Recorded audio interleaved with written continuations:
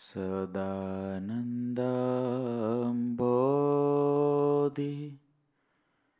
स्मितरुचिरपूर्णेन्दुवदन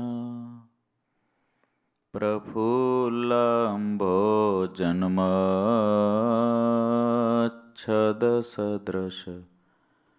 शोभाक्षियुगल कृपापारावार। श्रितसकलजीवातिसुखदो। महाश्रेयो मूर्तिर्जयति सहि नारायणमुनि।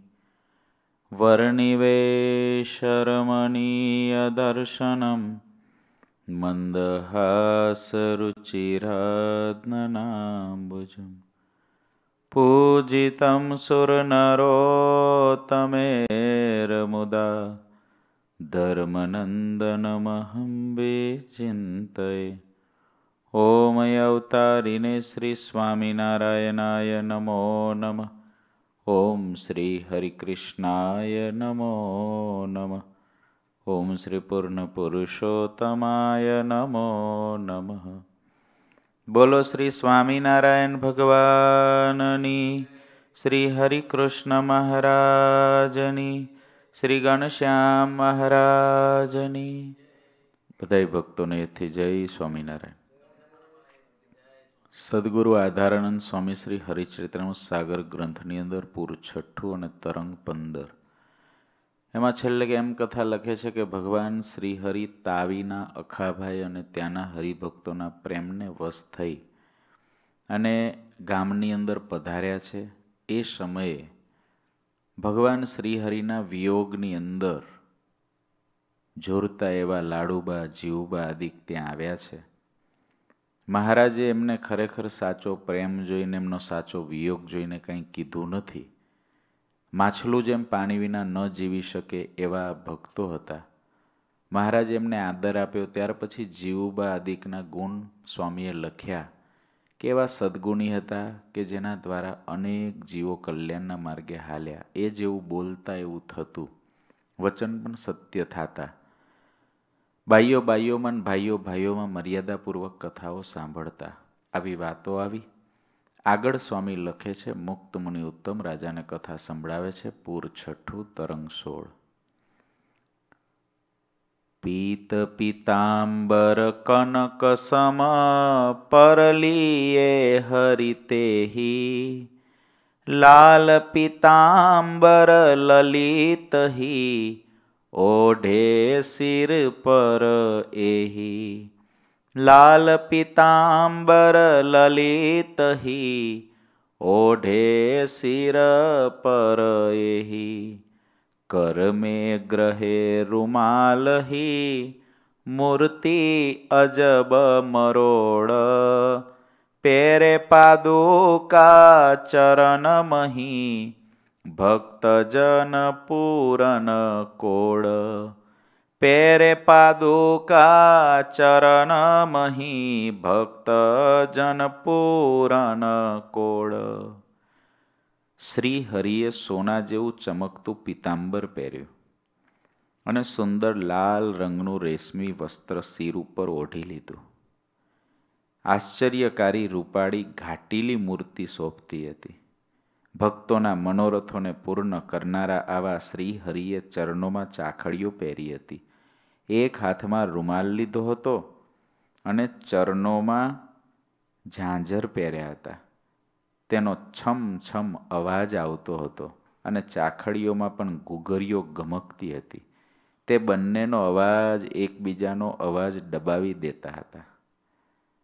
મોટા સંતો મૂર્તિમાં કેટલા મસ્ત રહેવાવાળા છે. કેટલા મસ્ત. સ્વામી શબ્દ પણ કેવા કેવા વાપરે છે. આશ્ચર્યકારી રૂપાળી ઘાટીલી મૂર્તિ સોંપતી હતી. શબ્દ જુઓ. ચરણોમાં ઝાંઝર પહેર્યા હતા, એનો છમછમ અવાજ આવતો હતો ચાખડીઓની પણ ઘૂઘરીઓ ગમકતી હતી. પાછું એકાબીજાનો અવાજ બે દબાવી દેતા હતા. ઝાંઝર ઘૂઘરીનો અવાજ દબાવે અને ઘોઘરી ઝાંઝરનો અવાજ દબાવે. આ મૂર્તિ જ જેનું જીવન બને, એને આ બધી અનુભૂતિ થાય. મૂર્તિ જ જીવન બને. ભગવાનની મૂર્તિ એ જ શ્વાસ બની જાય. ભગવાનની મૂર્તિ એ જ જીવનું જીવન બની જાય. ભગવાનની મૂર્તિ એ જ ક્રિયા બની જાય. ભગવાનની મૂર્તિ એ જ આપણો એક એક એક એક શ્વાસ, એક એક પળ, એક એક મિનિટ બની જાય, ત્યારે આ બધી અનુભૂતિ થાય. જ્યાં વર્ણીએ રસોઈ બનાવી હતી, ત્યાં શ્રી હરિ આવ્યા. જમાડવા મહારાજ આવ્યા છે. પીળું પિત્તાંબર પહેર્યું છે અને લાલ રંગનું રેશમી વસ્ત્ર શિર ઉપર ઓઢી લીધું છે. પીળા જોડે લાલ હોય, કેવું આકર્ષણ લાગે? અને મહારાજ પાછા, મહારાજે એવા અને આવા કલર પાછા. એટલે મહારાજને જ્યારે પોઢાડીએ, મહારાજને વાઘા ધરાવીએ, મહારાજને બધા આભૂષણો ધરાવીએ માનસી પૂજામાં, ત્યાર બધું બહુ સરસ મેચિંગ થતું હોય ને, એવું પહેરાવું. મહારાજને પોઢાડીએ, ત્યારે ચાદર પાથરી હોય પલંગ ઉપર જે માનસી પૂજામાં એ ચાદર, એવા કલરની પાથરી હોય કે જેનાથી મહારાજની ધોતી પહેરાવી હોય, મહારાજને ઠંડી હોય ને સ્વેટર પહેરાવ્યું હોય. મહારાજને ઠંડી ના હોય, ત્યારે મહારાજને ખાલી ઉપર એક દુસાલા ઓઢાડી હોય, સાલ ઓઢાડી હોય, કપડું ઓઢાડ્યું હોય, તો એ બધાયમાં મહારાજનું સ્વરૂપ ઉપસી આવે. એવું બધું કોમ્બિનેશન કરી અને ગોઠવવું જોઈએ. આવું ગોઠવવું જોઈએ. જ્યારે અન્નકૂટ હોય, ત્યારે કેવું ડેકોરેશન કરીએ છીએ? રંગોળી પૂરીએ, ત્યારે કેવું ડેકોરેશન કરીએ છીએ? એમ ભગવાનની માટે પણ જે પ્રેમરૂપી પલંગ બનાવવાનું હોય પોઢવા માટે, પ્રેમરૂપી સિંહાસન બનાવવાનું હોય બેસવા માટે. મુક્તાનંદ સ્વામીએ કેટલું સરસ લખ્યું, પ્રેમ કે પર્યંક પર પ્રભુ કરત સુખ આરામ ભગવાનને આરામ કરવા માટેનો પલંગ છે ને, એનું મટીરિયલ પ્રેમ છે, લાકડું નથી. પ્રેમ, પ્રેમના પાયા, પ્રેમનો પલંગ, પ્રેમના ગાદલા પ્રેમના ઓછાળ, પ્રેમના ઓશિકા અને પ્રેમનું ઓઢવાનું, પ્રેમરૂપી કપડાં, બધુંય પ્રેમ અને પ્રેમાળ મૂર્તિ. પલંગી પ્રેમનો, પોઢવાવાળોય પ્રેમાળ, એને પોઢવા માટેની બધી વસ્તુઓ એ પ્રેમની. મુક્તાનંદ સ્વામી આવું કીધું. આ બધા શબ્દો પર વિચાર કરીને ભગવાનમાં હેત કર્યા કરવું. ચરણ ધોયા પછી મહારાજના ચરણ ધોયા એક સોનેરી બાજોઠ મૂક્યો વર્ણીએ. રસોઈ બનાવી હતી ત્યાં. ચરણ ધોવા માટે એક સોનેરી બાજોટ મૂક્યો. ચરણ ધોયા પછી બીજા બાજોટ ઉપર આવીને બેઠા. વર્ણની વિવિધ પ્રકારના ભોજનોથી પીરસેલો થાળ હરખભેર લાવ્યા. ત્યાં ધર્મણલાલ શ્રીહરિ તે જમવા લાગ્યા. ભોજન જાતિ કહાવત જેતી નૃપને સોઈ કરાય તેતી. શાક બનવાય જીતની જાતિ. શાક બનવાય જીતની જાતિ. કનક કટોરા ભરે બહુ ભાતી કનક કટોરા ભરે બહુ ભાતી જેટલા જાતના ભોજન કહેવાય એ બધા જ દરબાર અખાભાઈએ કરાવ્યા હતા. એક બે નહીં, જેટલું લિસ્ટ નીકળે આખો અન્નકૂટ જ. એટલે તો ઠાકોરજી જ્યારે ઘેર આવે ત્યારે બધા અન્નકૂટ બનાવે છે ને? હવે એવું સરસ કરે છે ને ભગવાનના ભક્તો કે જ્યારે ઠાકોરજી આવવાના હોય ને અનુકૂળતા હોય, ત્યાં સુધી બધાય અન્નકૂટ બનાવે છે. નાનો તો નાનો. બધી વસ્તુ ભગવાન માટે બનાવે જેટલી આવડતી હોય એટલી. જેટલી જાતના શાક થતા હોય એ બધા બનાવીને બહુ ભાતના સોનાના કટોરામાં ભર્યા હતા. જેટલા ભોજન બનાવ્યા હતા તે બધાને દેવર્ષિઓના અધિપતિ શ્રીહરિ અતિશય હેતથી જમવા લાગ્યા. પાપડ, ચટણી અને અથાણા વગેરેને પણ ઘણા પ્રેમથી જમતા હતા. દસ બાર ગ્રાસ જમીને થોડું પાણી પીતા હતા. મહારાજ દસ બાર કોળિયા જમે. પછી થોડું પાણી પીવે. ઘણા તો જમવા બે તો વચ્ચે પાણી પીવે જ નહીં. આયુર્વેદ તો ના પાડે છે. આયુર્વેદ ના પાડે છે. પણ મધ્ય પછી પાણી પીવે ને કેલા કે એક જણને ત્યાં રસોઈ જમવા ગયા. ઓલા કે ભાઈ પાણી પીવો ઓલા કે હજુ વચ્ચે પહોંચ્યો જ નથી. વચ્ચે પહોંચું જ પાણી પીવું ને. પેલા કે વચ્ચે વચ્ચે પાણી પીવું જોઈએ, પણ વચ્ચે થાય તો પીવું ને કે હજુ વચ્ચે થયું જ નથી. ઓલા કે તપેલીઓ ખાલી થઈ ગઈ અમારી. તોય વચ્ચે ના થયું, તોય ના થયું. એવું થાય. મહારાજને એવી ટેવ હતી. દસ બાર કોળિયા જમે, થોડું પાણી પીતા. જમતા જમતા વારંવાર બે ત્રણ વખત પાણી પીતા હતા. મહારાજને આયુર્વેદવાળા નહીં મળ્યા હોય, કોઈ સમજાવવાવાળા ભગવાનને શું આયુર્વેદ? જે સ્વયં આયુર્વેદ છે. જેનામાંથી આયુર્વેદ આવ્યું છે એને શું આયુર્વેદ લાગુ પડે? પરમાત્મા એવા છે ને, એને કોઈ નિયમ લાગુ નથી પડતો, એને કોઈ બંધન નથી. પરમાત્મા નિર્બંધ છે, એને કોઈ નિયમનું બંધન નથી. મુક્તાત્માઓને નિયમનું બંધન છે, પરમાત્માને નિયમનું બંધન નથી. મુક્તાત્માને પણ છે, જીવાત્માને પણ છે, મુમુક્ષુ હોય એનેય છે મુક્તની પદવી સુધી પહોંચવાની તૈયારીમાં હોય એનેય છે, એક પરમાત્મા જ એવા છે કે જેને કોઈ બંધન નહીં. એ ગમે ગમે તે ગમે તે કરી શકે. ગમે તે કરી શકે. એ નાયા વિના જમી પણ શકે. નાયા વિના જમી પણ લે. દાંતન કર્યા વિના જમી લે. મુંડન કરાવીને, વતુ કરાવીને નાયા વિના જમી લે. મહારાજના કેટલા ચરિત્રો એવા છે. પરમાત્મા બધું કરી શકે. એની માટે કોઈ બોર્ડર નથી. એની માટે કોઈ બંધન નથી. અને એવા મનુષ્ય ચરિત્રોને પણ જે દિવ્ય ગણે છે, દિવ્ય જાણે છે, દિવ્ય સમજે છે, એ જ ભગવાનની ભક્તિનો અધિકારી બને છે. જમતા જમતા વારંવાર બે ત્રણ વખત પાણી પીતા હતા. ડાબા હાથને વારંવાર પેટ ઉપર ફેરવતા હતા. આપણે આમ નહીં, ઘણા જમીન હાશ એમ મારા ડાબા હાથ ફેરવતા. લાડવા ભાવતા હોય અને પાંચ સાત લાડવા દીધા હોય. પછી જમાડ્યા પછી કેવું કરે? હા મજા આવી ગઈ કે આજે. આ જીવને જમવામાં જ મજા આવે. કોઈ દિવસ, આ કોઈ દિવસ એ જોયું તમે જો ઉત્સવ સમય આ હોય, બધું હોય ને, તમે પૂછો ને હરિભક્તોને, કેમ રહ્યું બધું? સમયો પતે પછી પૂછો ને, કેમ રહ્યું? અરે, મજા આવી ગઈ કે. શું મજા આવી? રહેવાની વ્યવસ્થા એટલી સરસ હતી. અને જમવાનું તો કોણ બનાવતું તું આ? રસોયો હતો. અને ઓલી મીઠાઈ તો બહુ સરસ હતી. ક્યાં બનાવડાવી હતી? જરા કહેજો. પણ કોઈ એમ કે હાસ પાંચ દી કેવી કથા વાર્તા મળી હાસ એમ કોઈ કે હાસ, કેવા મહારાજના દર્શન હતા? ઓહો ઓહો, કેવા હતા?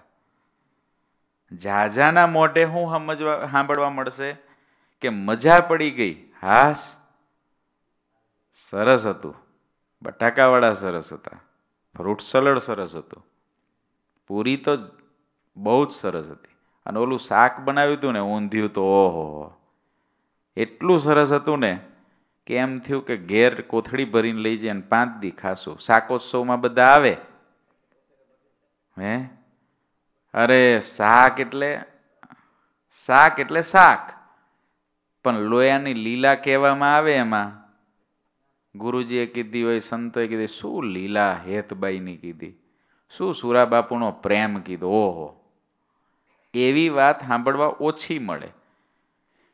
હરિભજન મેં આલશું? ભોજન મેં હોશિયાર, હરિભજન મેં આલસુ. હાશ આજે તો સવારે ત્રણ વાગે ઉઠીને ભગવાનનું ધ્યાન ભજન કર્યું. હાશ હા કેટલું ટાઢું થઈ ગયું. ઓહો, આજે તો રાત્રે બાર, એક વાગ્યા સુધી શાસ્ત્રોનો પાઠ કર્યો. બહુ મજા આવી, બહુ મજા આવી. આજે તો મહારાજ આગળ બાર, પંદર, વીસ કીર્તનો ગાયા. બહુ મજા આવી.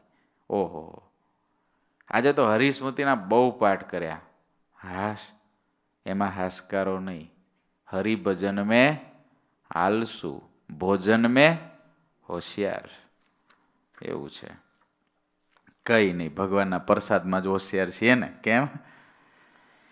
ડાબા હાથને વારંવાર પેટ ઉપર ફેરવતા પ્યારા શ્રીહરિ બધું ભોજન જમી રહ્યા. પછી દૂધ, ભાત ને સાકર જમ્યા. જ્યારે જમીને તૃપ્ત થયા ત્યારે શ્રીહરિએ પ્રસાદીનો બધો થાળ દરબાર અખાભાઈને આપ્યો. પ્રસાદી મળવાથી દરબારને આનંદ થયો. બધાને પ્રસાદી મળવાથી આનંદ થાય. ભાઈ, મહારાજ વખતે આનંદ થતો. તો આપણને થાય જ ને. પણ શું મળવાથી આનંદ થવો જોઈએ? પ્રસાદી મળવાથી. પણ આપણી એટલું થઈ ગયું, પ્રસાદી તો મળે, પણ અમુક પ્રકારની મળે તો વધારે આનંદ થાય. પ્રસાદી ભલે હોય, અમુક પ્રકારની. આપણા એક ભગત છે. તે રસોઈ દે. રસોઈ દે તો ઘણી વખત રસોઈ આપે, પછી તો સંતોને ઘણી વખત અનુકૂળતા ના હોય, સમય ના હોય, તો સંતો ઠાકોરજી માટે મિષ્ટાનને ફરસાન બનાવી રાખે. કારણ કે આવા જ્યાં આગળ મહારાજનું આ રીતનું પ્રતિષ્ઠા થયેલી હોય, ત્યાં મહારાજને મિષ્ટાન ફરસાણ થાળમાં ધરાવવાનું હોય. એટલે સંતો ગાંઠિયા છે, સેવ છે, જે બગડે ના એવું હોય, મગજ છે, એવું કંઈક બનાવી રાખે. એટલે ઓલા ભગત થાળ દે ને, પછી પ્રસાદી દે તે ઘણી વખત પછી સંતોને અનુકૂળતા ના આવી હોય એ દિવસે. ઓછા સંતો હોય તો સંતો ઓલી પ્રસાદી જે મહારાજને ધરાવી હોય એ દઈ દે. ઓલા ભગતને બે વખત એકનો એક પ્રસાદ આવ્યો. ભગત કે, સ્વામી, આ થાળ સંતોને દેવાનો અર્થ હું એટલે એને પ્રસાદીની કોઈ ઈચ્છા નહીં. એ તો બહુ ભાવનાવાળા ભગત છે આપણા. એને તેમ કે સંતોને આપી જ સંતો કંઈક વિશેષ બનાવીને મહારાજને જમાડે ને પોતે જમે. તો મારી રસોઈ આપેલી સાર્થક. બાકી મારે રસોઈ આપવાનો અર્થ જ ના રહ્યો કે સંતો તો જે જમતા હતા એ જ જમ્યા ને ઠાકોરજી જે જમતા હતા એ જમ્યા.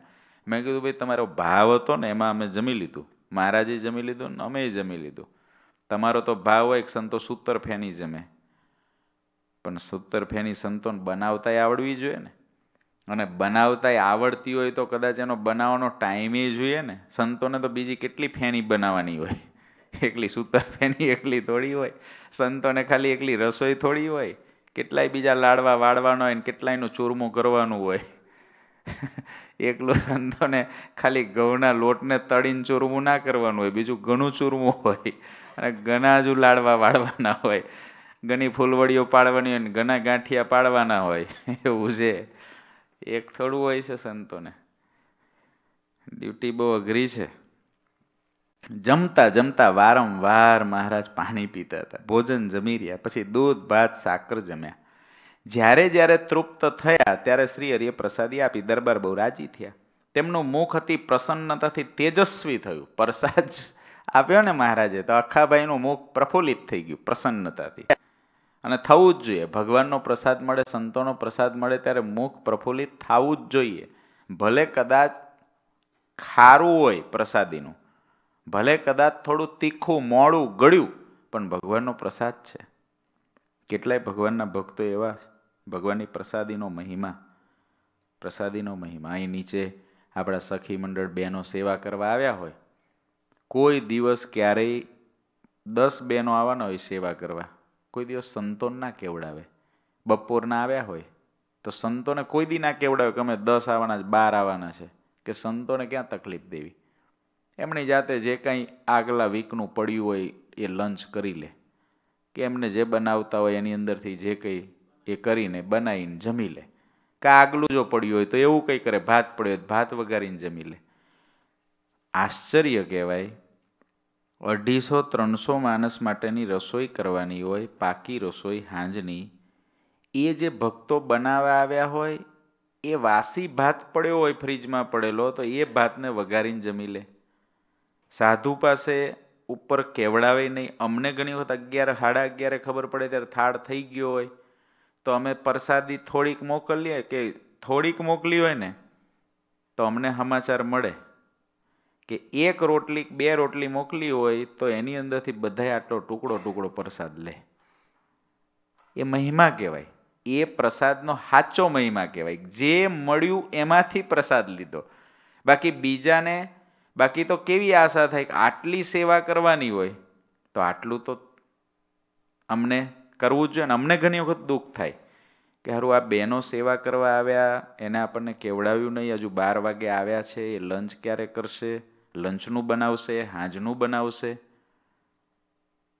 પણ ભક્તોની ભાવના એવી હોય, ઘણા ભગવાનના ભક્તો એવા હોય કે એને કંઈ પણ પ્રસાદીનું એક તુલસીનું પાન મળે ને કેટલું સાચવીને એને રાખે? કેટલું સાચવીને રાખે? એને જમાડે કેટલા અહોભાવથી લે, અહોભાવથી. ભગવાનની પ્રસાદી એ બહુ મોટી વાત છે. ભગવાનની પ્રસાદીમાં સ્વાદ, કુસ્વાદ નથી જોવાનો. ભગવાનની પ્રસાદીમાં તો આત્યંતિક કલ્યાણ જોવાનું છે. આત્યંતિક કલ્યાણ. જો એ ભગવાન શ્રી હરિને ધરાવેલી પ્રસાદી એમાં પણ ભગવાનના સંતો કે ભગવાનના પવિત્ર ભક્તો દ્વારા બનાવવામાં આવેલી પ્રસાદી, એને પ્રસાદના રૂપમાં પ્રસાદની ભાવનાથી જો ગ્રહણ કરે ને કોઈ, અનંત જન્મના પાપ બાળી નાખે. અનંત જન્મના પાપ. એ જે વસ્તુ છે, એના ટેસ્ટ ઉપર, એના સ્વાદ કુસ્વાદ ઉપર વજન નહીં મૂકવાનું. વજન, ભલે સ્વાદ કુસ્વાદની આપણને ખબર પડે, આપણે દેહાતીત નથી થઈ ગયા. પણ વજન ભગવાનના પ્રસાદ ઉપર. અહોભાવથી. આવા મોટા મહારાજ, આવા મોટા મહારાજ. આવા ભગવાનના પવિત્ર સંતો, આવા ભગવાનના ભક્તો જેને મહારાજને રાજી કરવા થાળ કર્યો, એનો આ પ્રસાદીનો કણિકો મળ્યો. મારા કેટલા મોટા ભાગ છે. એમ સમજીને પ્રસાદીનો એક ટુકડો લે, અનંત જન્મના પાપ બાળી નાખે. આત્યંતિક કલ્યાણ કરવા માટેનો પ્રસાદ પણ એક સાધન છે. હા, એટલે ખાલી એકલો પ્રસાદ જમવો એવું નહીં પણ પ્રસાદ પણ આત્યંતિક કલ્યાણનો એક પાર્ટ જ છે. કારણ કે ભગવાનનો સંબંધવાળું છે. ભગવાનના સંબંધવાળું છે. એ જેટલું જોઈએ એટલું ગુણકારી એટલા માટે નથી થતું. કારેલા હોય, કારેલા ગુણકારી છે. પણ તમે એનો રસ કાઢી નાખો બધો કડવો. મીઠું નાખીને. મીઠું નાખીને રસ કાઢી નાખ્યો કડવો. અને પછી કારેલાનું શાક કરો તો ગોળ ખાતા કારેલું બે હરખું જ લાગે. તો કારેલું ગુણકારી ના થાય, કારણ કે એનો ગુણ તો તમે તોડી નાખ્યો. એનો ગુણ જે કડવાશ છે તો તોડી નાખી, એ ગુણકારી ના થાય. પણ એ જો સીધું જમો, એટલે કે માપનું નાખીને, હાવ ગળ્યું ના કરતો બરફી જેવું, માપનું કરીને કરો, તો એ ગુણકારી થાય. એવી રીતે પ્રસાદ પણ ગુણકારી ક્યારે થાય છે કે એના સ્વાદ કુસ્વાદ ઉપર વજન મૂક્યા વિના જો જમાડવામાં આવે ગ્રહણ કરવામાં આવે, તો એ પ્રસાદ બને છે. એ જો સ્વાદ કુસ્વાદની વિકતિ કરીને ગ્રહણ કરવામાં આવે, તો જોઈએ એટલો ગુણકારી ન થાય.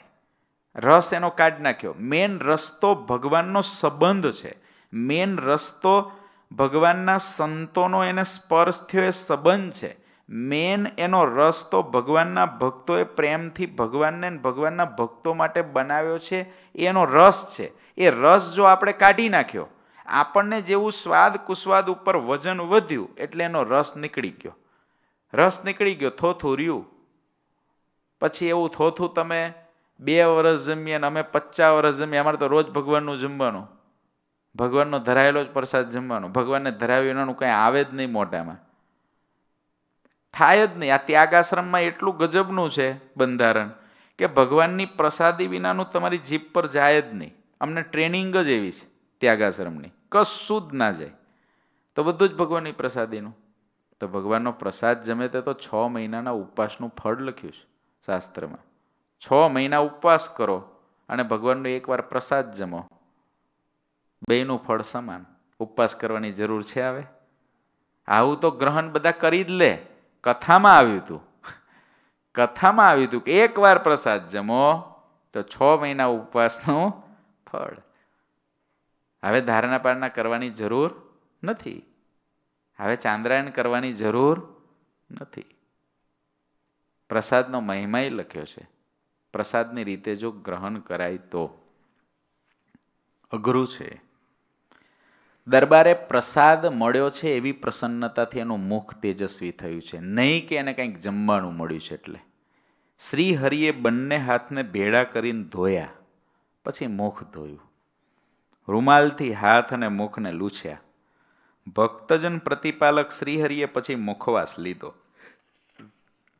શ્રીહરિની સાથે જેટલા સંતો, દરબારો અને પાર્ષદો રહેતા હતા, એ બધાને પોતે જમવા બેસાડ્યા, સ્વયં પીરસવા લાગ્યા. મહારાજને આ બહુ શ્રદ્ધાનું કાર્ય છે. જમાડીને પીરસવું એટલે?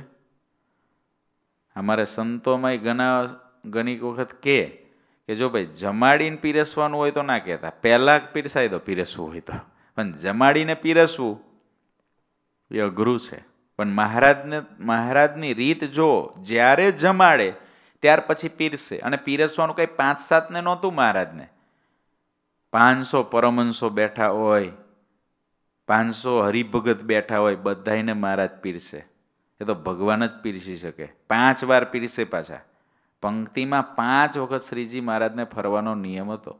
વરતાલની અંદર આજે પણ જગ્યા છે, આમ પરમહંસોની પંક્તિ થાય, મહારાજ થાકે, તો વચ્ચે બેહે પાછા. પણ કેટલું ઝડપી પીરસવું પડે, કેટલું સરસ રીતે પીરસવું પડે, મહારાજ એમાં બહુ ચતુર હતા. તે બધાને પોતે જમવા બેસાડ્યા મહારાજ પોતે પીરસતા. શ્રી હરિએ દરબાર અખાભાઈ તેમના ભાઈ, બધા પુત્ર વગેરે પરિવારના પુરુષોને પ્રેમથી બોલાવ્યા. સૌને પ્રેમથી જમવા બેસાડી દીધા. તે સૌ જ્યાં સુધી જમતા હતા, ત્યાં સુધી ભક્તપતિ શ્રી હરિ પીરસતા રહ્યા. બંને હાથમાં લાડુ લઈને પંગતમાં વારંવાર ફરતા. પીરસવાવાળો આવો જોઈએ, બે હાથમાં લાડુ લઈને પીરસતો હોય. ટુકડાનો ચોથો ભાગ કરીને કે આપો. શું થાય આપણું દાદા? એક તો એકનો ચોથો ભાગ કરે અને એમાંય શું પૂછે? આપું? શું આપું? દાદાને કહેવું પડે કે ભાઈ, બે રાખશો તોય હાલશે. ચોથો ભાગ ક્યાં આપું કહો છો મહારાજ જેવા પીરસવાવાળા જ નહીં. કોઈ આવે અત્યારે રહ્યું નહીં. આપું આપું કરવાવાળા રહ્યા મહારાજ તમારા જેવા. તે સૌ ત્યાં સુધી જમતા. મહારાજ બે હાથમાં લાડુ રહીને પીરસતા. પછી દૂધ ભાત, સાકર વગેરે પીરસ્યા. નાના જમાડત, નાના કરતા જમાડતા જોરે રે, એવી મૂર્તિ સંભારો નિસ્ભોરે રે. આપે મુખમાં લાડુ, જલેબી રે, આવે મૂર્તિ સંભારે એ સુખ રે. મુખની અંદર લાડુ જલેબી આપે. એ મૂર્તિને હંભારો નિષ્કુળન સ્વામી કે સુખિયા થઈ જવાય. આપણે માનસી પૂજા મોઢું ખોલવું. મહારાજ, બે લાડુ લઈને આવો. મહારાજને જમાડી દઈએ, મુક્તોને જમાડી દઈએ, સંતો ભક્તોને જમાડી દઈએ, પછી પ્રસાદી હોય ને મહારાજને કેવું, મહારાજ, આજે મારા મોઢામાં મૂકો આવે લાડુ. માનસી પૂજામાં મહારાજ જમાડે. માનસી પૂજા છે પ્રત્યક્ષ પૂજા, ભાવ છે. મહારાજ જમાડે. રોજ મોઢું ખુલ્લું રાખીને બેસી જવું. રોજ મોઢું ખુલ્લું રાખીને માનસી પૂજા કરી દેવી. ખરેખર ભાવથી કરે તો લાડુ મૂકી જાય મહારાજ, હા? પ્રત્યક્ષ અનુભૂતિ થઈ જાય. મહારાજ તો પ્રગટ જ છે, પ્રત્યક્ષ જ છે. પર્વતભાઈને દહીં ધોળાઈ ગયું. સચ્ચિદાનંદ સ્વામીને ઠેક ધરમપુરમાં હતા, ન્યા જમાડી જતા. જલેબીને સચ્ચિદાનંદ સ્વામી બતાવ્યું, થાય જે એવા ભગવાનના, એવા ભગવાનની અંદર એવા મસ્ત ભગવાનના, મોટા મોટા ભગવાનના એવા સંતો, ભક્તો છે ને, એને અનુભવ થાય. આ પૃથ્વી વાંજણી નથી, શાસ્ત્રોમાં લખ્યું છે, સત્ય છે. અનુભવ થાય એને. પછી દૂધ, ભાત, સાકર વગેરે પીરસ્યા. દૂધની તો રેલમ છેલ કરી દીધી. દૂધ એટલું આપતા કે પાત્ર ભરાઈને છલકાયેલું દૂધ જમીન ઉપર ઢોળાતું હતું. ભક્તજનોને ઘણા દિવસની તાન હતી, તેને શ્રી હરિ એક જ દિવસમાં પૂરી કરી દીધી. બહુ દિવસથી વાટ જોતા હતા ને, મહારાજ કે એક જ દિવસમાં તમને સુખિયા કરતો તે એટલું દૂધ પીરશે એટલું દૂધ પીરશે જમીન ઉપર ઢોળાતું. હવે અત્યારના જો આપણા બધાના મગજ હાલતા હોય ને, જો મહારાજ અત્યારે આવી લીલા કરે ને, ખવડાવતા નથી ને ઢોળતા શું કરવા હશે? ચાલો, આ બુદ્ધિનો વિષય, અહીં બુદ્ધિ કામ લાગે. મહારાજ પીરસે છે દૂધ જમીન ઉપર ઢોળાતું હતું. હવે જે જમીન ઉપર દૂધ ઢોળાયું, ત્યાં આગળ આપણી બુદ્ધિ અટકી જ જાય. એકવીસમી સદીના આપણે અતિ ડાયા એક વત્તા હાફ કેવા? એક વત્તા હાફ એટલે દોઢ ડાયા. આપણે એકવીસમી સદીના આપણા ભેજાઓ દોઢ ડાયા છે. મહારાજ જો મનુષ્ય લીલા આવી કરે આપણી વચ્ચે, તો આપણે સો જણા બેઠા હોય ને, તેમાંથી નેવું જણા ડિસ્કસ કરે. અને આવી જો રોજ લીલા આવી કરે ને, તો રોજ આપણે ડિસ્કસ કરીએ દૂધ પાવાની જગ્યાએ ઢોળે શું કરવા? પાય એનો વાંધો નથી.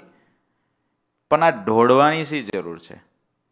એ બુદ્ધિથી પરનો વિષય છે. એ દૂધના ટીપા પડે ને નીચે, એ દૂધ ઢોળાતું હોય ને એમાં કેટલાય જીવો એ પીવે, કેટલાયને એનો ટચ થાય. કોઈક દેવતાઓ પણ કીડી મકોડા રૂપે એનો, એને, એનો સ્વાદ લેતા હોય ને એ પાવન થતા હોય, એને પરમાત્મા જોઈ શકે, આપણે ન જોઈ શકીએ.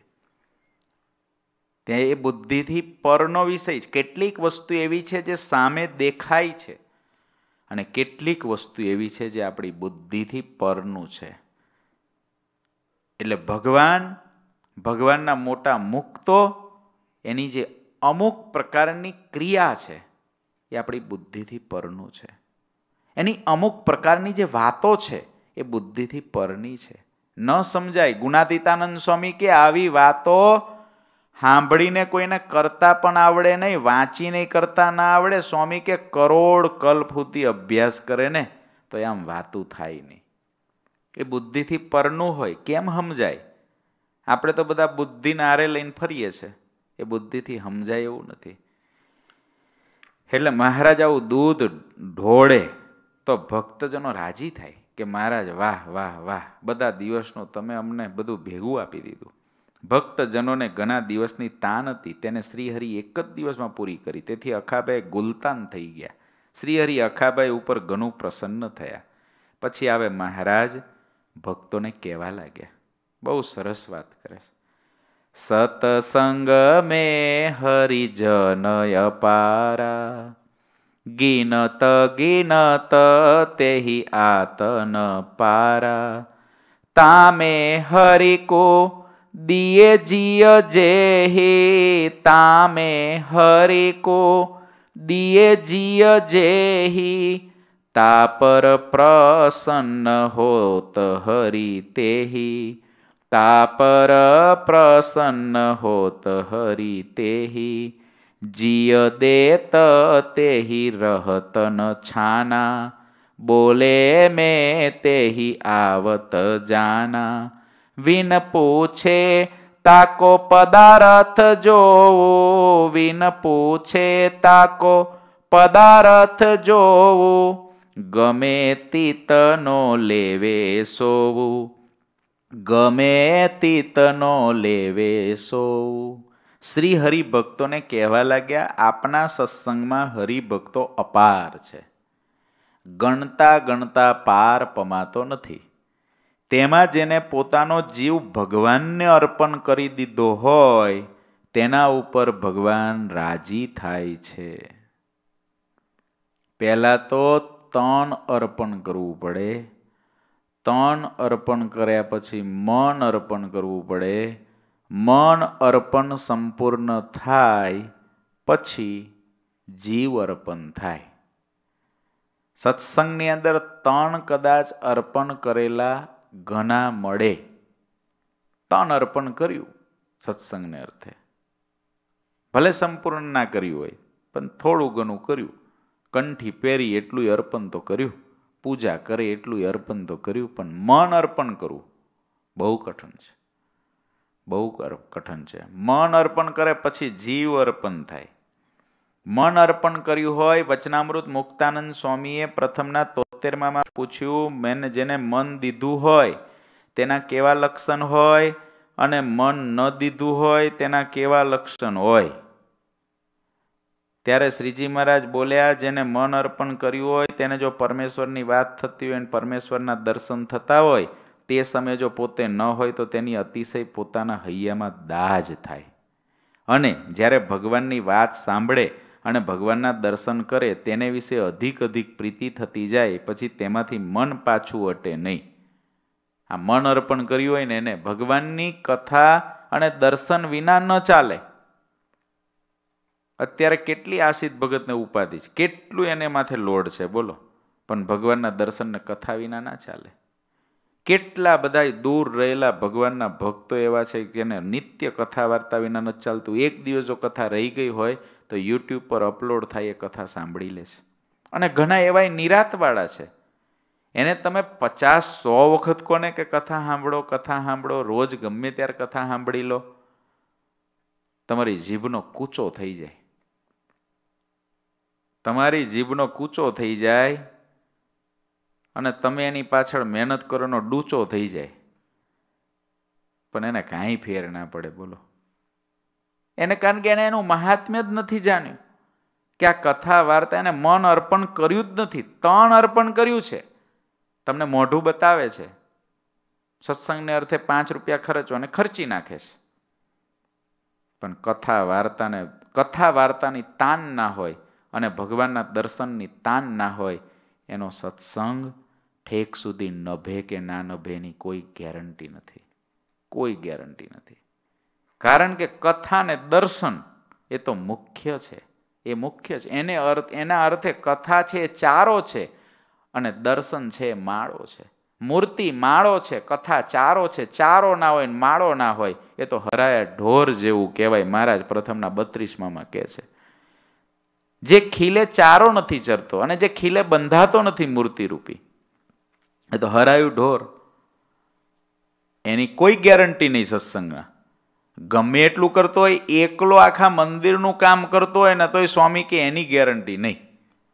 આખા મંદિરનું કામ એકલો કરતો હોય. કેટલાયને સત્સંગ કરાવતો હોય તો એની ગેરંટી નહીં.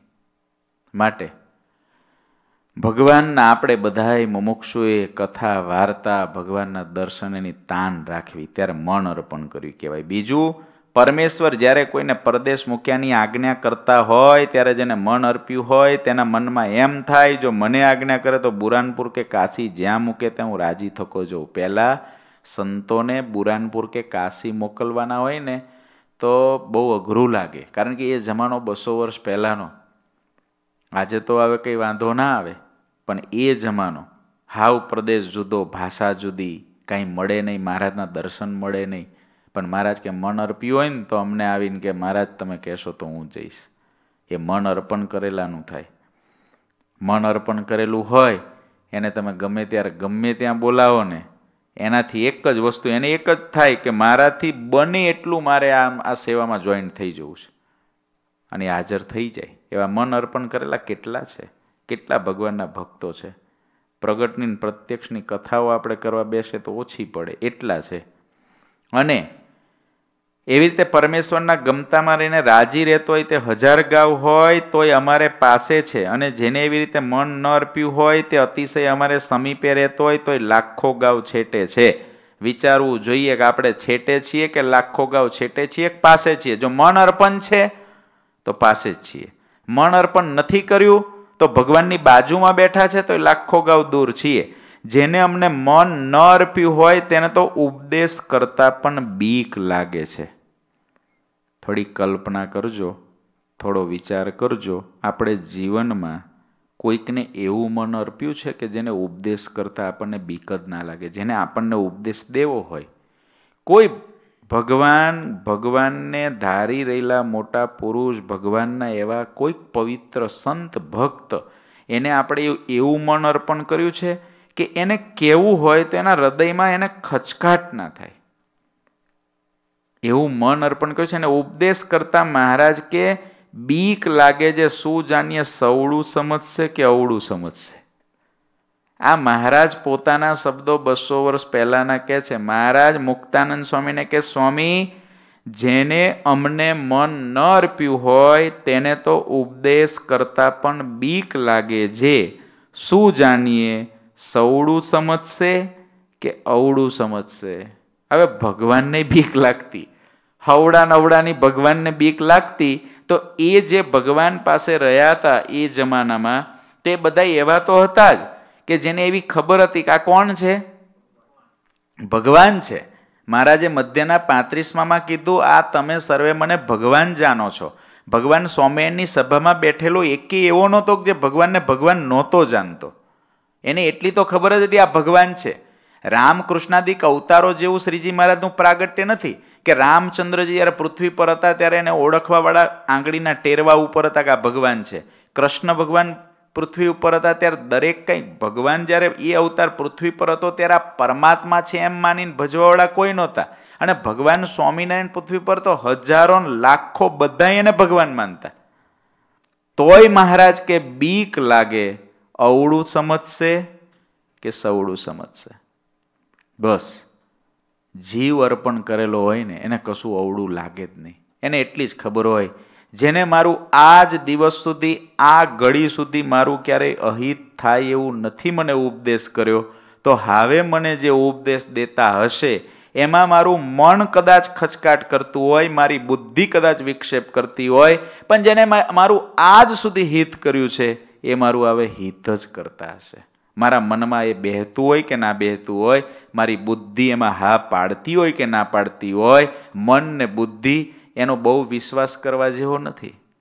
એ કાંઈ બહુ વિશ્વાસો નથી. એને એને જેટલા પાસે મન હતું જેટલાય બુદ્ધિનું મનનું ધાર્યું કર્યું છે, એ બધાના કલ્યાણ થઈ ગયા એવું શાસ્ત્રમાં નથી. મહારાજ અને મોટાનું ધાર્યું જેને કર્યું છે. મહારાજ અને મોટા મુક્તોના વચનમાં જેને વિશ્વાસ મૂક્યા છે, મન અને બુદ્ધિને બાજુ પર રાખીને, એવાના કલ્યાણ સહેજે થયા છે. સહેજે થયા છે. બાકી બુદ્ધિવાળા અટવાઈ ગયા. અને મનવાળાના તો ભૂકા જ થઈ ગયા. મનનું ધાર્યું કરવાવાળાને તો ભૂકા જ બોલી ગયા છે. અને બુદ્ધિવાળા અટવાઈ ગયા. કારણ કે બુદ્ધિનું ગૂંચવાડું એટલું મોટું છે ને. હમણાં જ ક્યાંક હું સાંભળતો હતો કે આ મગજની અંદર જેટલો પાર્ટ છે, એના કેટલા ટકા વાપરીએ છે? પાંચ ટકા. બહુ બુદ્ધિવાળા કહેવાય ને એ લોકો. જે લોકો બહુ જ બુદ્ધિવાળા, અતિશય બુદ્ધિવાળા પૃથ્વી પર કહેવાય છે એ લોકો પોતાના માઇન્ડના પાંચ જ ટકાનો યુઝ કરી શકે છે. હજુ પંચાણું ટકાનો યુઝ નથી કરી શક્યા. આપણે તો બહુ બુદ્ધિવાળામાં આવતા જ નથી. આપણે બહુ બુદ્ધિવાળામાં આવતા ખબર ને? આપણે કેટલા પર્સન્ટેજ વાપરતા હોઈશું. અને એટલા પર્સન્ટેજ ઉપર એ વિશ્વાસ તો તો મરી જ જાય. અટવાયા વિના રહે જ નહીં. પંચાણું ટકા નથી વાપરી કે વધારે બુદ્ધિવાળા છે એ. હજુ એની શોધખોળ ચાલે છે કેમ વાપરવી એમ. આ મને કોઈ કે કીધેલું કહું છું, હા, મને પૂછવા ના આવતા કયા ડૉક્ટરે બહાર પાડ્યું. શું જાણીએ છીએ? કારણ કે મારી પાસે બુદ્ધિ છે જ નહીં, પાંચ ટકાય. એટલી હોત તો ખબર પડતા કોને કીધું છે એમ. શું જાણીએ? સવડું સમજશે કે અવળું સમજશે? એવી રીતે મન અર્પ્યું હોય કે ન અર્પ્યું હોય તેના લક્ષણ છે. પ્રથમનું આ વચનામૃત તોતેરમું છે. માટે ભગવાનને મુક્તોને મન અર્પણ કરવું. અહીં કે છે, જીવ અર્પણ કરેલો હોય મહારાજ કે એને એના ઉપર ભગવાન રાજી થાય, જીવ અર્પણ કર્યું હોય. અને એના બોલવામાંથી જ જણાઈ આવે. ગઢપુરની અંદર ઘેલાના કાંઠે અમુક પેલા વૈરાગ્યો, એવા સાધુઓ અને અમુક ભિખારી લોકો ત્યાં આગળ પેલા પથરા ગોઠવી અને લાકડા સળગાવવાની મહેનત કરતા હતા. એમાં વરસાદ ને લાકડા પલળી ગયેલા. એટલે લાકડા પ્રગટે નહીં. આ લોકોને સીધું તો મળી ગયું, પણ રાંધવું કેવી રીતે ખુલ્લાની અંદર? શ્રીજી મહારાજ સ્નાન કરવા ગયા મહારાજે આ જોયું. એટલે મહારાજે જીવા બાપુને કીધું કે, બાપુ, આ માંગણ લોકો છે ને, આ વૈરાગી લોકો છે, સાધુ બાબા, આ લોકોને કાંઈ રસોઈ કરવી હોય, તમારો ડેલો મોટો છે, ઘેલાથી નજીક થાય. જો ન્યાય એ લોકોને આપણે લાકડાને બધી વ્યવસ્થા કરીએ, તો એ કાંઈ આપણી પાસે માગતા તો બીજું કાંઈ નથી. પણ એને જો અહીંયા આગળ આપણે રાંધવાની વ્યવસ્થા કરીએ તો રાંધીને બિચારા જમી શકે. જીવા બાપુ કે, મહારાજ, એવા માગન તો બહુ હોય કે. એને ક્યાં આપણે પૂરું કરીએ? એને ડેલામાં ક્યાં જગ્યા છે મારે એને? મહારાજ કે, તો તો દાદાને ત્યાં ગોઠવવું પડશે. દાદા ખાચરને મહારાજ કે, દાદા, આપણે આ લોકોની શું વ્યવસ્થા કરીશું? પ્રભુ કોણ તમે? તે, દાદા, તું જે ખોરડામાં રહે છે, ખોરડામાં આપણે કરી દઈએ તો આ લોકોની વ્યવસ્થા. મહારાજ, ભલે. મહારાજ જઈ બે પાર્ષદોને મોકલ્યા. દાદા ખાચરના ઘરવાળા રોટલા ઘડતા હતા. મહારાજ કે, પાર્ષદોને જઈને ઓલા બાઈને તો કંઈ કીધું નહીં. મહારાજ કે, આ બધું બધું બહાર મૂકી દો કે આનું. અડધો રોટલો ઘડાતો હતો ને એ તાવડા હોતા બાર બધાય. અને ઓલા બધાય માંગન લોકોને બધાના ચૂલા અંદર ગોઠવડાવી દીધા. મહારાજ કે, અહીં તમે તમારે રાંધો અને સીધાની જરૂર પડે ને તો આ કોઠલામથી કાઢીને વાપરજો. અને દાદા ખાચરના એના ઘરના એ બધાને મહારાજે બહાર મોકલી દીધા. ચોકમાં રસોઈ કરવા એના ખોરડામાં ઓલાને મૂક્યા. મહારાજ જીવા બાપુને કે, બાપુ, અમે દાદો દાદો કરીએ ને અને આ દાદાને ઘેર રહ્યા છે ને, એની એની ડેલી જોઈને નથી રહ્યા. એના હૃદયની ડેલી જોઈને રહ્યા છે. તમારી મોટી ડેલીને કરવાની શું? જીવ અર્પણ ન કર્યો હોય ને અર્પણ કર્યો હોય ને એની ખબર ક્યારે પડે? જ્યારે એવો આપતકાળ આવે. જ્યારે એવો સમય આવે, ત્યારે જીવ અર્પણ કર્યો, ના કર્યો, બેયની પરીક્ષા થઈ જાય. ત્યારે બેયની પરીક્ષા થઈ જાય. જીવ અર્પણ કરેલો છે કે નહીં? નાથ ભક્ત વડોદરાના. ગઢપુરથી નીકળ્યા અને ઠેક વિશ્વામિત્ર નદ, વિશ્વામિત્રી નદી વડોદરા પહોંચી ગયા ગઢપુરથી નીકળીને. આ બાજુ મહારાજે પાછળ એક જણને મોકલ્યો કે, નાથ ભગતને બોલાવી લાવો. તો ઓલો પાછળ પાછળ હાલ્યો હાલ્યો હાલ્યો, એને નાથ ભગત મળ્યા જ નહીં. વિશ્વામિત્રી નદીને કાંઠે નાથ ભગત કે સ્નાન કરીને પૂજા કરીને ઘેર જાઓ. પૂજા કરવા બેઠા, પૂજા હંકેલી, ન્યા ઓલો ભગત પહોંચ્યો. ભગત તમને મહારાજ બોલાવે છે. હવે ક્યાં ગઢપુર ને ક્યાં વડોદરા? ભગત ત્યાંથી ઘેર કહેવાના ગયા કે હું પાછો ગઢપુર જાઉં છું. ત્યાંથી પાછા હાલતા ગઢપુર મહારાજ કે, ભગત, તમે કેટલા દીથી તમને બોલાવવા મોકલ્યા હતા ઓલો ભગત કે, મારા છ દી થયા. તે છ દી તમે બોલાવા નાથ ભગતને ક્યાં ગયા? મહારાજ, હું તો ગયો, નાથ ભગત દેખાયા નહીં. તો હું વડોદરા બાજુ હાલ્યો ગયો, કારણ કે મને ખબર કે ભગત વડોદરા જ જવાના. તો હું પાછળ હાલ્યો થઈ વિશ્વામિત્રી નદીએ ભેગા થયા. મહારાજ કે, સાબાસ, તમે પાછા કેમ ના વળ્યા? મહારાજ, તમે મને કીધું નાથ ભગતને બોલાવીને આવજો. એટલે હું આપણે ક્યાં સુધી જઈએ? આપણે ક્યાં સુધી જઈએ? આપણને મહારાજે મોકલ્યા હોય. માનો બે રસ્તા વડોદરા જવાના હોય, હવે નાથ ભગતે આ રસ્તો પકડ્યો એટલે એ તો આપણને ભેગા થાય જ નહીં. એક બાજુ બીજા રસ્તેથી આપણે ગયા હોઈએ ને આ ભેગા થાય નહીં, તો આપણે બહુ જઈએ તો બે કિલોમીટર જઈએ. બુદ્ધિ હાલે આ બધાને જોઈએ ને ત્યારે લાગે આ લોકોને બુદ્ધિન લોક હતા. અનલોક નહોતી. કેવી બુદ્ધિ હતી? લોક. તમને ખબર છે? આ લોક ફોન ને અનલોક ફોન, એવો ફોન આવે છે. મને બહુ ખબર નથી ડિટેલ, કારણ કે બુદ્ધિ પાંચ ટકા નથી. પણ થોડુંક ખબર પડે કે અનલોક ફોન હોય ને એમાં બધા સિમ કાર્ડ ચાલે, તમારે ઇન્ડિયાનું ચાલે, અનલોક ફોન હોય ને એમાં બધું. અને જે અમુક ફોન હોય એમાં અમુક જ પ્રકારનું ચાલે, બાકી ના ચાલે. અમુક દેશમાં અમુક પ્રકારનું ચાલે. અહીંનો ફોન હોય બધું ઇન્ડિયાના કારણે, પણ અનલોક ફોન હોય તો અહીં ચાલે ત્યાં ચાલે, બધે ચાલે. એમ છે ને, ભગવાનને મોટા મુક્ત હોય ને ત્યાં લોક બુદ્ધિ રાખે ને એને વાંધો ના આવે. પણ ઘણા અનલોક હોય. ગમે તે સિમ કાર્ડ હાલે, ગમે તે દેશમાં હાલે, એને ગમે તે બધું હાલે એટલે એને બધું જ હાલે. એટલે કોઈ વાર કચરો અંદર જતો રહે. પણ ભગવાનને મુક્ત લોક બસ, પછી અનલોક એ કરે જ નહીં તો કોઈ દાડો વાંધો ના આવે. આ બધા લોકવાળા હતા. નાથ ભગતને મહારાજ કે તમે વડોદરા પહોંચી ગયા ઘેર કહેવા ના ગયા? મહારાજ તમારી આજ્ઞા હોય, જન્મો જન્મથી બૈરા છોકરા માટે કેટલું ઘસાયા છે? તમારી આજ્ઞા હતી કે નાથ ભગતને પાછા બોલાવો. ઘર તો મહારાજ નજીક જ હતું, અડધો કિલોમીટર. પણ મહારાજ, તમારી આજ્ઞા હતી, કોઈને કેવડાવ્યું પણ નહીં, હું તો પાછો આવી ગયો. મહારાજ કે, વાહ, નાથ ભગત. અમારે તો બીજું કાંઈ કામ નહોતું. અમે તો ખાલી તમને આમ જ બોલાવ્યા હતા કે, નાથ ભગતને બોલાવો, ગોપાળાન સ્વામી કદાચ આવશે વડોદરા સત્સંગ કરાવવા. એટલું જ કેવું હતું. બીજું તો કાંઈ હતું નહીં. ભલે મહારાજ, હું પાછો જાઉં છું. આપણે તો હજુ કદાચ અહીં સુધી લોક રાખ્યું હોય ને મહારાજ આવું કે તો તરત પાછી અનલોક થઈ જાય બુદ્ધિ. હવે આટલું કેવા ઠેક ત્યાંથી ક્યાં બોલે ઓલાને કહી દીધું હોત તો એ મને કહી દેત ને. એટલે આપણને છે ને યથા સમયે રાખ્યા છે. યથા સમય હું ઘણી વખત વિચારું કે આપણને કેમ આવા ટાઈમે રાખ્યા છે, પણ યથા સમયે રાખ્યા છે. કારણ કે ભગવાનને ખબર હતી આ બધા અનલોક ફોન આવવાના જ પાછળ. આ બધા અનલોક છે. ગમે તે ગમે તે સિમ કાર્ડને ગમે તે આવશે આની અંદર. પછી નાથ ભગત ગોપાળન સ્વામી આવ્યા. ગોપાળન સ્વામી એકવાર ક્યાંક નીકળતા હતા ચબુતરા પાસેથી અને જેલ વડોદરાની અંદર છે. એ જેલ પાસેથી મહારાજ નીકળ્યા. ઓલા કેદીઓએ ખબર પડી કે સ્વામી નીકળ્યા, ધૂન થઈ. બધાને ખબર કે સ્વામી બહુ સમર્થ છે. ઓલા કેદીઓ સ્વામીને કે સ્વામી અમને છોડાવો ને કે દયા કરો ને સ્વામીએ કેદીઓને એને ઉપરથી કીધું કે ચિંતા ના કરો, નાથ ભગત જેલમાં આવશે કે. તે ઓલા હરિભક્તો બધા કેમ, સ્વામી આવા આશીર્વાદ ક્યાં? નાથ ભગતને જેલમાં જવાના આશીર્વાદ? આપણે કોઈ મોટા પુરુષને પોતાના ગુરુ માનતા હોઈએ અને એવા આશીર્વાદ આપે કે તું અઠવાડિયામાં જેલમાં જઈશ. આપણે રાજી થઈએ? રાજી થઈએ? જેલમાં જઈશ એવું કહેતો? ગોપાળન સ્વામી આવું કીધું. પેલા હરિભક્તો બધા ઘૂસપૂસ કરવા લાગે કે નાથ ભગત આટલા પવિત્ર ભગત એને જેલમાં જવાનું વગર કામે, કોઈ દોષ વિના. ગોપાળન કે, ચિંતા ના કરો, મહારાજને મોટાને બધી ચિંતા હોય જ. નાથ ભગતને કોઈએ કીધું, સ્વામી, આવા આશીર્વાદ દીધા. નાથ ભગત કે, ભલે, મહારાજની મારા ગુરુની જેવી ઈચ્છા. નાથ સ્વામી કથા કરતા હતા, બાબા રાવે ફરમાન કરેલું, દીવાને રાજાને ચડાવીને કરાવેલું સ્વામિનારાયણના સાધુ આવે અને જે લાવે, એક તો સ્વામિનારાયણના સાધુને કેદ કરવા અને જે લાવે એને કેદ કરો. તે ગોપાળન સ્વામી વાતો કરતા હતા. પેલા ફોજદાર આવ્યા. ગોપાળન સ્વામી કે, હાલતા થાવ નહીં તો તમને બાંધીએ છે. ગોપાળન સ્વામી કે, ભાઈ, અમારે તો કાંઈ આવવું નથી. આ નાથ ભગત વારે વારે લઈ આવે છે. એને કેદ કરો કે અમે તો આ કરાલી આલે. અને સ્વામી ગાડામાં બેહીને જતા રહે નાથ ભગતને હાથ કડી પહેરાવીને ઓલા લઈ ગયા. આ સ્વામી નીકળી ગયા. હવે અહીં અનલોક થાય તો બુદ્ધિ. કે એને ચિંતાય નથી? આ મારા ગુરુ મેં કર્યા છે. આખી દુનિયાની ચિંતા કરવા જાય છે. મને આ લોકો બાંધીને લઈ જાય છે. એને ચિંતાય નથી. સ્વામી કે નાથ ભગતને પકડીને લઈ જાઓ. આ અમને લાવે છે. જીવ અર્પણ કરેલો હોય ને, એને વિશ્વાસ હોય.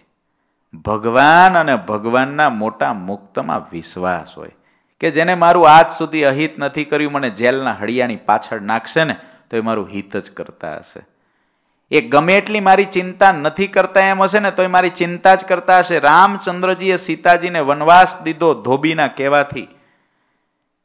કે રાવણને ત્યાં રહેલી હોય ને, એને રામ રાખે, હું ના રાખું.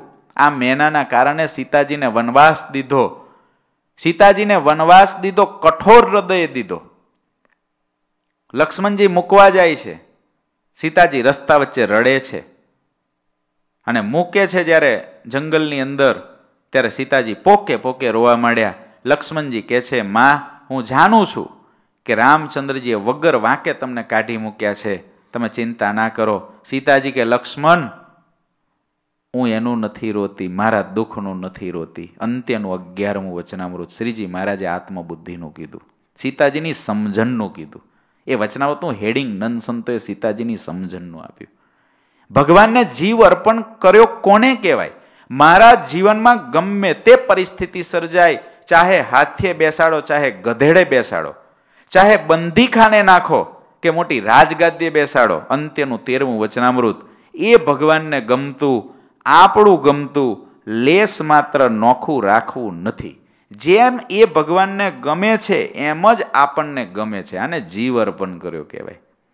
એનું ગમતું ને આપણું ગમતું નોખું છે, એને કંઈક કરવું છે ને આપણે કંઈક કરીએ છીએ, ત્યાં સુધી આપણે એને જીવ અર્પણ કર્યો જ નથી. પણ આપણને એમ થાય, મારા શ્વાસનો નકશો કરવાવાળા મારા મહારાજ છે.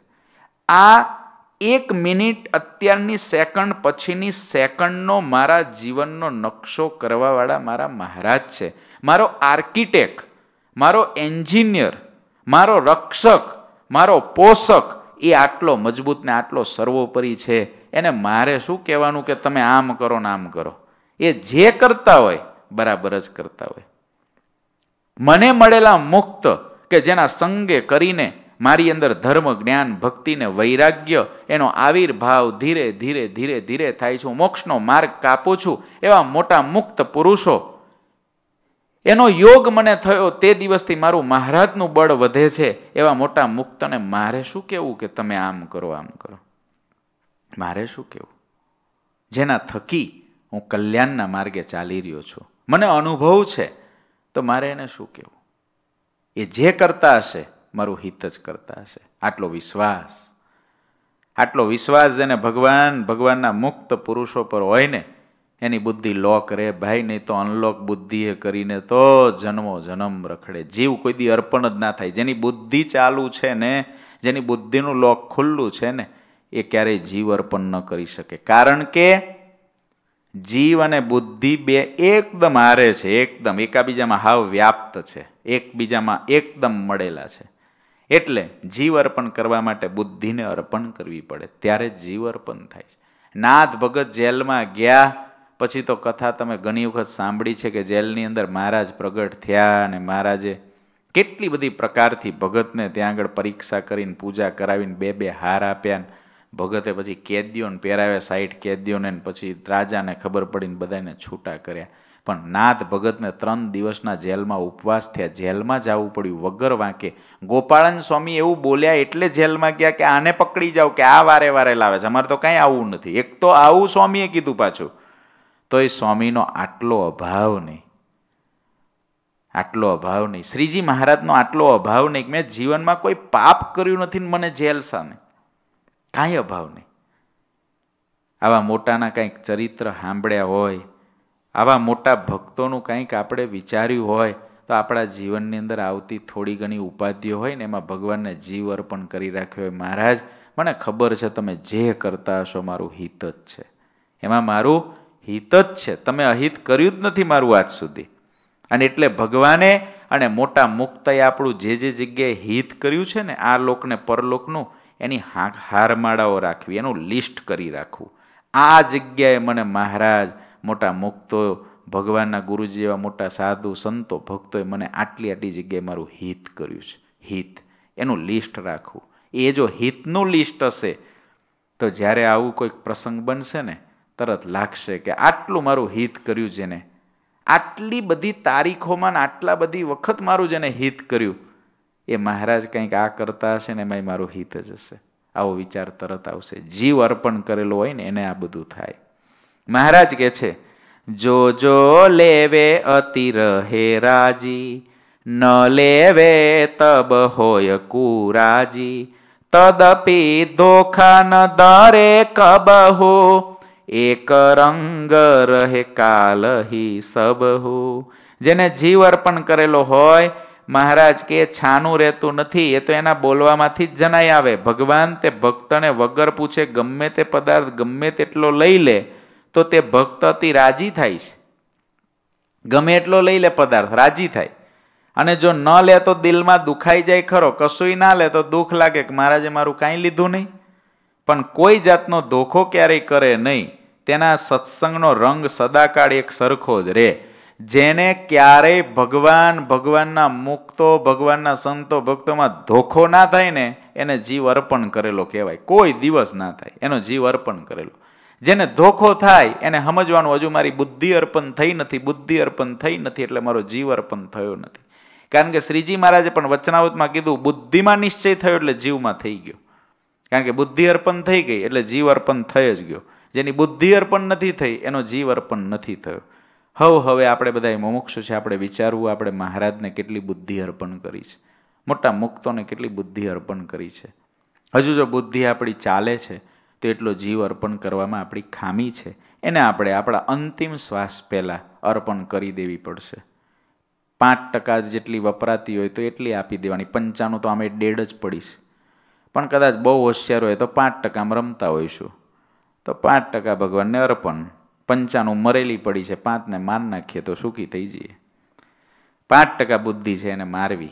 એના માટે મોટા મોટા સંતો ભક્તોના ચરિત્રો ને બધાને વિચારીએ અને ત્યારે મુક્તાનંદ સ્વામી ગોપાળન સ્વામી બધાએ કેવું કરીને રાખ્યું? કેવા થઈને રહ્યા? મહારાજની વસ્તુ થઈને રહ્યા. આવો ધર્મ એક ધારો ટકાવી રાખવો. રાખનારો જે ભક્ત છે તે હરિભક્તમાંથી શ્રેષ્ઠ છે. સોનાના દોરા જેવો. મહારાજ અંત્યના એકવીસમાં કે, મીન પાયેલો દોરો હોય, શિયાળો આવે, કડક. ઉનાળો આવે, ઢીલો. ઢીલો. મનનું ધાર્યું થઈ ગયું, પોતે વિચાર્યું પોતાની બુદ્ધિએ જેવું કીધું એ પ્રકારનું દેખાઈ ગયું, બધું થઈ ગયું. ઓકે, સરસ. શિયાળાના દોરા જેવો, કડક. અને કાંઈક મનનું ધાર્યું ના થયું, કાંઈક અપમાન જેવું થયું, કાંઈક એની બુદ્ધિમાં જે વિચાર્યું એનાથી કંઈક વિપરીત મહારાજે કર્યું, તરત પાછો ઢીલો.